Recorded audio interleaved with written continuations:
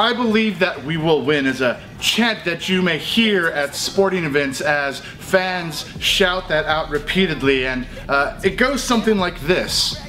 It begins with the, the chant leader saying, I, and the crowd follows with I. I believe, I believe. I believe that, I believe that.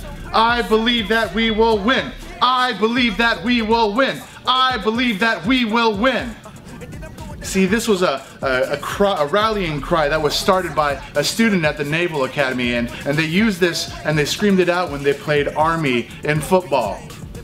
I, I bring this up because this, for us as believers, should be our rallying cry on a daily basis. As we know, as followers of Jesus, that we have won. So we can shout with ease, I believe that we will win. In Revelation 22, verses 3 to 5, it tells us this.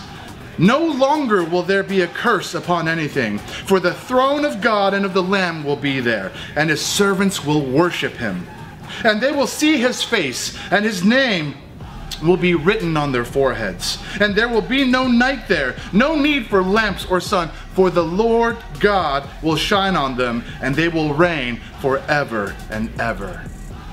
When we are in glory, we're not going to have to wrestle with our flesh anymore. We're not going to have to deal with hurt or pain anymore.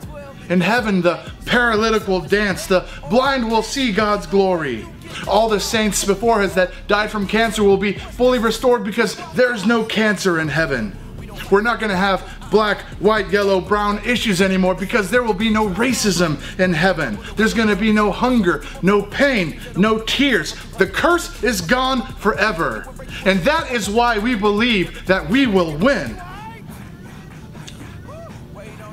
That is why, as a follower of Jesus, as Christians, and today in the midst of uncertainty, fear, confusion, and anxiety, we must remember that we will win.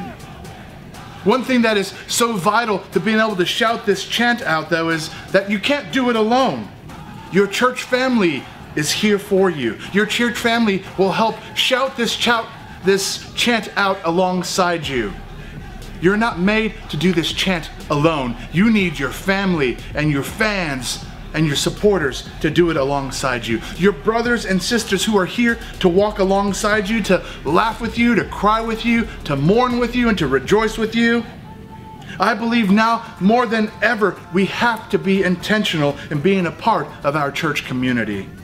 Too many of us have been playing the role of the Lone Ranger in the midst of this pandemic. And because of that, we're exhausted, we're tired, and we're weary, especially with all of the junk that we see going on in this world today. My hope is that you will consider coming back as we begin opening up more different options, uh, more ministry areas moving forward. I have missed seeing you. Our church, we have missed seeing you. And I know it's going to be a joyous day when we can all see each other again and reconnect. And so, as that comes along, may this chant be our rally cry as a church body. Uh, when we reconnect with each other, may we be able to look each other in the eye and shout this out alongside each other. Say it with me. I, I believe. I believe that. I believe that we will win. I believe that we will win. I believe that we will win.